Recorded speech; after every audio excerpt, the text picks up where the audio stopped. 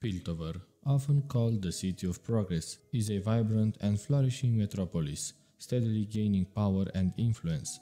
Known as Valoran's cultural heart, it is a place where art, craftsmanship, trade, and innovation seamlessly blend. Its strength is not drawn from military prowess, but from the forces of commerce and visionary thinking. Perched high on the cliffs above Zaun and overlooking the vast ocean, its colossal sea gates welcome fleets from across the globe, laden with goods from distant lands. This wealth has sparked an extraordinary boom, fueling the city's rapid growth. Piltover continues to reshape itself into a land of opportunity where fortunes are made and dreams become reality. Prominent merchant families fund ambitious projects, grand artistic ventures, arcane hextech research, and towering architectural feats that showcase their influence. With more and more inventors exploring the mysteries of hextech, Piltover has become a beacon for the finest craftsmen from around the world. Welcome, lore lovers, to another deep dive into the intricate world of League of Legends. I am Liandrug, and today we'll unravel the mysteries and marvels of one of Valoran's most renowned city-states. From its grandiose hexed gates to the bustling wharfs and the influential mercantile clans to the rich tapestry of its political and social fabric, Piltover is a city brimming with stories waiting to be discovered. So, buckle up as we embark on this journey through the City of Progress. Piltover's creation was based on a tragic event, a complete disaster caused by humans from Zaun who devised a plan to carve to the isthmus that connected Valoran to the southern continent, aiming to create a safe passage between eastern and western Valoran by detonating thousands of chemtech bombs. However, the plan backfired disastrously. A chain of earthquakes was unleashed, obliterating the isthmus and submerging large sections of Zaun along with thousands of its inhabitants. Poisonous gas spilled into the remaining parts of the city, threatening those who survived. In their hour of need, Janna, empowered by the prayers of the people, arrived and swept away the deadly fumes, saving countless lives. This act elevated her from a deity of sailors to a revered guardian of Zaun. Since that moment, Janna has remained in Zaun, protecting its people. Zaun was eventually rebuilt to control the river passage that now flowed through the ravaged land the sun gates were constructed, ensuring that all ships passing through the waters had to pay a toll. This brought immense wealth to Zaun, setting the stage for Piltover's rise. The ruling families, enriched by the Gates trade, laid the foundations for the powerful merchant clans that would dominate Piltover. The construction of the Sun Gates altered the landscape of eastern Valoran and the surrounding seas. Noxus, now able to easily channel resources across its empire without relying on land routes, grew stronger. Meanwhile, Bilgewater's pirates found the trade routes teeming with targets, feeding the city's criminal underworld. Today, Piltover's greatest thing is the invasion of Hextech technology. The Ferros family built their fortune on a rare crystal found in the distant deserts, known as the first Hex crystals. These first crystals held a power typically reserved for those born with innate magical abilities. Elysia, Camille's great great aunt, nearly lost her life and her arm on one of the early expeditions to acquire these crystals. Her sacrifice became legendary within the Ferros family, and the motto for family will I give was born from this legacy. However, the creatures from which these crystals were harvested, the Brackern, were not an endless resource. The Ferros family had to turn to other means to enhance their stockpile of crystals. Through covert investments in chemtech and runic alchemy, they developed synthetic hex crystals, less powerful than the originals but far easier to produce.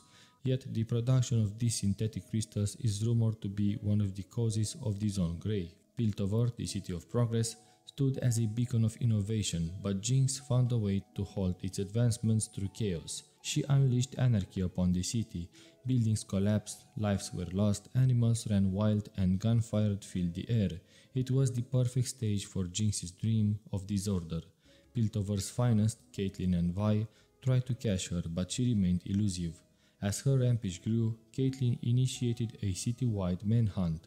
Jinx responded by marking the treasury with a challenge to Vi, promising to strike at a specific time and place. True to her word, she appeared causing destruction as usual. Vi pursued her relentlessly, smashing through obstacles in her path. Eventually cornered, Jinx unleashed a barrage of rockets, leveling the building. When the officers awoke, they found the gold intact and a message spelled out in the lights across the sky You will never catch me. During the annual Progress Day, three Noxian spies, Gisbert, Tamara, and Colette, had infiltrated Piltover, hoping to place an agent within Clan Medarda. They used the festival to showcase their technical prowess before the clan's masters and apprentices. Tamara demonstrated her invention, the Hex Armillary Amplifier, which harnessed the power of a crystal to exponentially increase its output. However, the device was intentionally flawed, and it nearly destroyed the entire hall. This sabotage was part of their plot to disrupt Piltover's progress. After the incident, Caitlyn apprehended Tamara, having uncovered her true identity and mission. She was banished from Piltover and sent back to Noxus. While both Tamara and Gisbert failed in their mission, Colette managed to secure a position of an apprentice. Later, she would pass a Medarda training map to Noxian intelligence, furthering their schemes. Jayce Talis, an apprentice from clan Kiramman, began experimenting in secret to combine magic with science using hex crystals. His inspiration came from a mage who had once saved his life, but when his workshop was broken into, a hex crystal shattered, causing an explosion that led to an investigation by the wardens. His work was confiscated and Jayce was arrested for conducting unauthorized research.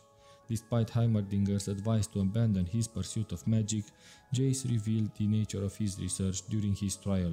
He argued for the potential good that could come from mastering magic for Piltover's benefit. Though the council rejected his idea and nearly banished him, his mother Ximena intervened, securing his release but resulting in his expulsion from the academy. Disheartened, Jayce sought someone who shared his vision. He found an unlikely ally in Viktor, who was intrigued by Jayce's theories and took one of his journals. Together, they stabilized the hex crystals just as their research was set to be destroyed. Sneaking into Heimerdinger's lab, they succeeded in proving the crystal's potential. Despite Heimerdinger's displeasure, Chancellor Medarda saw the opportunity, and the duo's breakthrough was presented to the council. Over the years, Hextech transformed trade and transport in Piltover, giving rise to the revolutionary Hex Gates, which could change the city forever. Now the Florentine city has grown big and it has a lot of important places. The first one is the Blue Wind Court. In the northern reaches of Piltover lies the Blue Wind Court, where the city's most influential families reside. The mansions of powerful clans like Arvino, Ferros, Medarda, and the others stand here, guarded by high walls and advanced security. Among these estates is Jayce's laboratory, housed within the Giopara mansion, where he crafted his iconic Mercury hammer. Sidereal Avenue is one of Piltover's most stunning streets, funded by the wealthy merchant clans who showcase their prosperity through grand architecture. It is home to the Piltover treasury and the famed ecliptic vaults, which were once breached by Jinx in her reign of chaos. The Sun Gates are Piltover's gateway to the world, a vital trade hub linking Valoran and Shurima. Their construction reshaped both Piltover and Zaun, creating immense wealth for Piltover's ruling class, but also sinking parts of Zaun in the process. Today, the Sun Gates stand as a symbol of both progress and loss. The Rising Howl is a colossal elevator that connects Zaun and Piltover, allowing citizens to move between the levels of the city. This towering structure, adorned with intricate ironwork and steam-powered mechanisms, is vital for both public and private transport. In Arcane, Piltover's history and layout have distinct differences from its main canon counterpart. The Hex Gates dominate the city's landscape, standing tall as one of the Piltover's most innovative achievements. These massive retractable towers, devised by Jayce and Viktor, are powered by Hextech and allow for seamless transportation of people, vehicles, and goods across vast distances in Runeterra. The Hex Gates revolutionize trade by offering near instantaneous travel, and their function relies on intricate mechanisms involving rotatable globes and hexite batteries, which must be replaced after each jump. Their towering height restricts their use to airships, emphasizing Piltover's dominance in cutting-edge technology. The Bridge of Progress, spanning the northern and southern sections of the city, is more than just an architectural marvel. It holds deep significance as a site of frequent uprisings from the Undercity. The bridge became infamous for the bombing orchestrated by Jinx, a chaotic attack that claimed the lives of many wardens during a citywide lockdown, marking a dark chapter in Piltover's history. In the southern reaches of the city, the fissures represent the entirety of Zaun's undercity. Unlike the main canon, where Zaun's undercity sprawls beneath the eastern side of the canal, in Arcane, these fissures are confined to the southern parts, emphasizing the stark division between Piltover and Zaun. The University of Piltover, centrally located near the Hex Gates, plays a crucial role not only in education but as a seat of power where the clan council gathers to discuss matters of state and progress. The institution stands as a symbol of knowledge and the city's relentless pursuit of innovation. Off the coast of the eastern part of Piltover, the grim fortress of Stillwater Hold rises as a maximum security prison. It is an imposing structure designed to house Piltover and Zaun's most dangerous criminals across its towering 40 floors. The prison operates under strict conditions, with inmates subjected to solitary confinement and tasked with manual labor. Despite its severe atmosphere, prisoners somehow manage to acquire tattoos and piercings, hinting at hidden channels of influence even within its walls. Piltover thrive on its position as the commanding power over the vital sea routes between east and west, with trade serving as the city's lifeblood. The wealth generated from this dominance has not only filled Piltover's coffers with gold, but also contributed to the rapid expansion of the Noxian Empire, whose armies and resources now traverse the continent of Valoran with unparalleled ease. However, this trade dominance has also given rise to piracy, particularly benefiting Bilgewater as it has become a sanctuary for pirates and rivers. These lawless figures take advantage of Piltover's bustling trade by preying on the many ships that sail to and from the city. Piltover's climate is generally mild and pleasant, but abrupt changes in temperature often bring about dense sea fogs, shrouding the docks and warehouses. The quaysides, the heart of Piltover's mercantile activity, are always teeming with activity. Ships from every corner of the world pass through the sun gates, making the city a hub of global trade. The docks are filled with the sounds of countless accents and languages, reflecting the diverse origins of its workforce. Anyone with enough strength and a willingness to work can easily find employment in this vibrant port city. Hey lore lovers, if you are enjoying our exploration of Piltover and want to keep up with all things lore, don't forget to hit that like button and subscribe to Liandrug. Your support helps us bring more fascinating content right to your screen. Now, let's dive back into the heart of Piltover. This cosmopolitan nature defines Piltover and its people. Citizens are fiercely self-reliant, priding themselves on ambition and progress. They disdain interference from outsiders, valuing an open, unregulated market as the cornerstone of their prosperity. Despite the perceived divide between Piltover and Zaun, both cities share deep biological, economic, and cultural ties that bind them more closely than their citizens often care to admit. Their intertwined fates reflect in everything from trade to innovation, making them two halves of a shared industrial powerhouse. Even though this city is highly based on technology, myths and legends appear where humans are present, so even Piltover has some, such as the Church of the Glorious Evolved, which is a prominent religious and ideological movement within both Piltover and Zaun, advocating for the belief that flesh is inherently weak compared to the strength and durability of steel and machinery. Followers of the church view thaumaturgy, the fusion of magic and technology, as the path to transcend the limitations of the human body, striving for a world where inefficiency and frailty are purged through technological augmentation. Viktor, often seen by members of the church as a messianic figure, represents the ideals of the glorious evolution. However, Viktor himself disdains the vast religious reverence surrounding him, believing the church's emotional and irrational beliefs to be flawed. He views their worship as an aberration, yet another example of the emotional weaknesses he seeks to eliminate through empirical scientific progress. Despite not being officially aligned with the church, Camille commands significant respect among its followers. Her extensive mechanical augmentations and her philosophy of calculated efficiency embody the church's ideals, giving her influence within its ranks. Her reputation is such that she is often mistaken for the church's revered figure, the Grey Lady, although Camille is not to be confused with this symbolic saint. The Grey Lady is a central figure of the Church's faith, honored as the patron saint of those seeking salvation through technology. Her depiction in the first assemblage of the Glorious Evolved features a stained glass window, where her cloak is crafted from ash violet glass, rusted gears, and corroded pistons, symbolizing the transformation of the old into the new. Her blessing is invoked when inventors face challenges, though it often comes at the cost of personal sacrifice a tradition deeply rooted in Zaun's history, particularly after the devastation of the incident. The Glorious Evolved also honors the Zaunite custom of sacrificing something personal on Progress Day. This act of letting go is believed to fuel the next step of innovation, echoing the resilience of Zaun's people as they rebuild their lives in the shadow of Piltover's rise to wealth atop their ruined home. Tahm Kench, also known as Two Coats, is another figure whose legend has spread to Piltover and Zaun, especially after the opening of the Sun Gates made trade routes to Bilgewater more accessible. This mythical creature is depicted as a monstrous glutinous fish dressed in two fine jackets, symbolizing insatiable greed. Piltover's artificers and even children know tales of the River King, whose presence is said to awaken a ravenous desire for wealth and power in those who encounter him.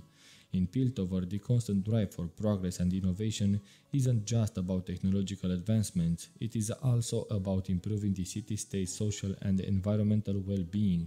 The leading mercantile clans, powerful and wealthy, strive to integrate the latest scientific innovations into their everyday life and infrastructure.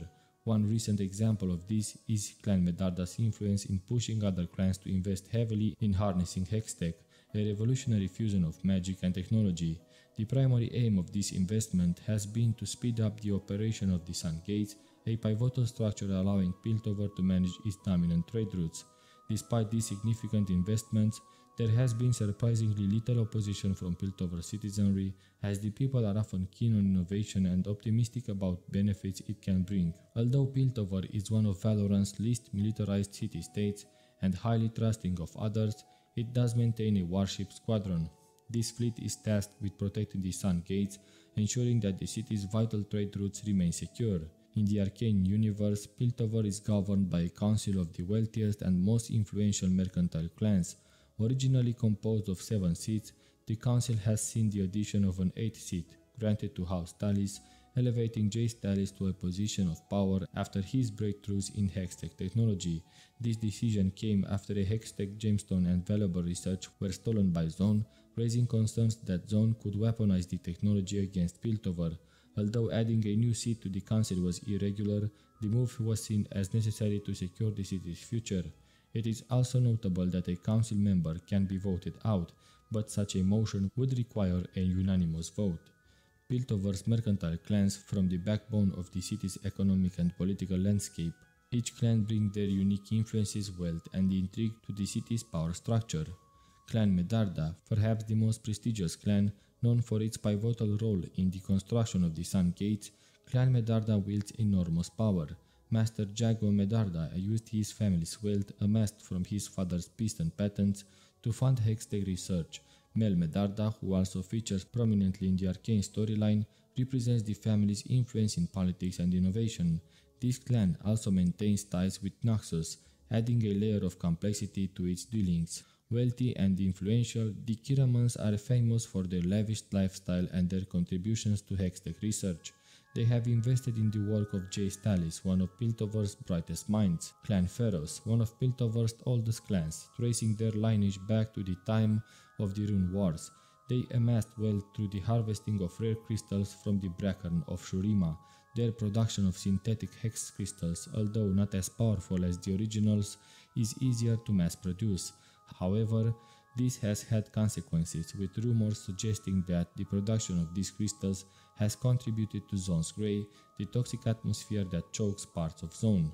Clan Arvino, after the untimely death of Lord Arvino, leadership of the clan passed to his daughter Sophia, who became involved with Marco Volcage, a Zaunite Chem Baron. Their engagement was cut short by an assassination carried out by Camille, representing the dangerous and often treacherous undercurrents that run through Piltover's upper society. Clan Giopara, this clan is respected for its contributions to science and innovation, having offered patronage to a young Jayce Talis, nurturing his early work on Hextech. Though they eventually lost Jayce to Clan Ferros, they remain a respected force in the city.